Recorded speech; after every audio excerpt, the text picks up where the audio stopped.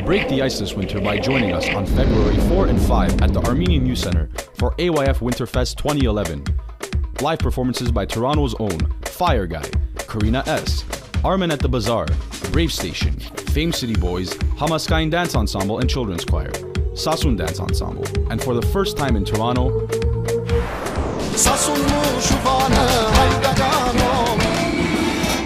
visit ayfwinterfest.com